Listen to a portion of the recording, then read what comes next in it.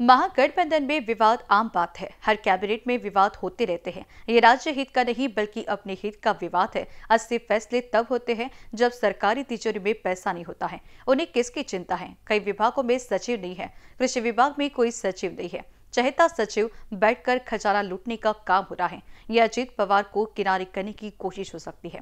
अजीत पवार कई बार वित्त विभाग के मंत्री रह चुके हैं। अनुशासन बनाने का प्रयास किया उन्होंने किया है। लेकिन वर्तमान में सारा काम अनुशासन भंग कर सारा काम हो रहा है। तिजोरियों में पैसे न होते हुए भी जान निकाला जा रहा है। प्रतिशत की गणना के लिए यह निर्णय लिया जा रहा है। ऐसी प्रतिक्रिया आज विपक्ष नेता विजय वडेट्टीवार द्वारा पत्रकारों से संवाद साधते हुए साझा की गई। सरकारमध्ये हे वाद आता नेहमीचेच आहेत।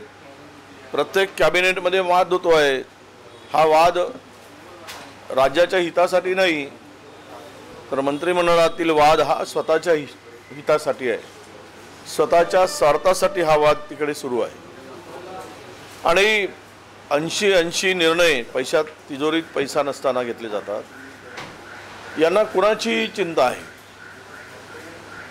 या राज्यामध्ये गेल्या वर्षभरापासून एकेका सचिवाकडे दोन दोन चार्ज ठेवलेत. याला मागासवर्गीयाची चिंता आहे का? सामाजिक न्याय विभागाला पूर्णवेळ सचिव नाही.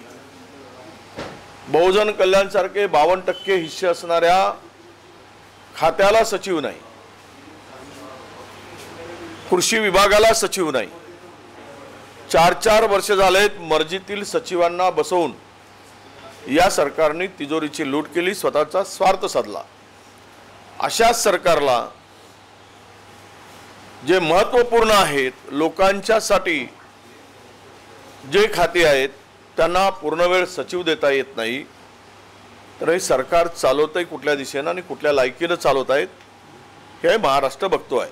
अर्थविभागाशी अर्थविभागाशी निगडीत अनेक विषय काल होते आणि तरीही अजितदादा निघून गेले. अं, कुठेतरी जमिनी जे संस्थांना तळकाफडकी दिल्या जातं अशी त्यांची नाराजी असते. नाही असं हे त्यांना बाजूला सारण्याचे पुरेपूर प्रयत्न कदाचित असावे.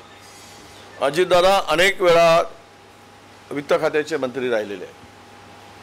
आणि त्यांनी काही का प्रमाणात असे ना थोडं शिस्त पाळण्याचं काम त्या फायनान्स विभागामध्ये केलं आहे. परंतु अलीकडे शिस्त बिघडवून काम सुरू आहे.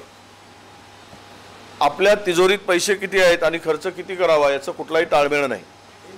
पैसे नसताना जी आर काढले गेलेत.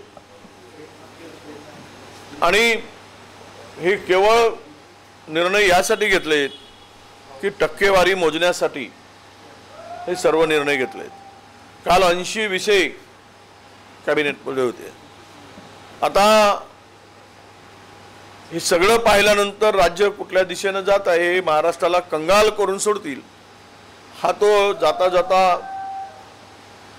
जेवढं मिळेल तेवढं लुटून महाराष्ट्राला कंगाल करण्याचा त्यांचा तो प्रयत्न आहे. त्यामुळेच अजितदादांनी कदाचित तिथून काढता पाय घेतला असावा असं मला वाटतं.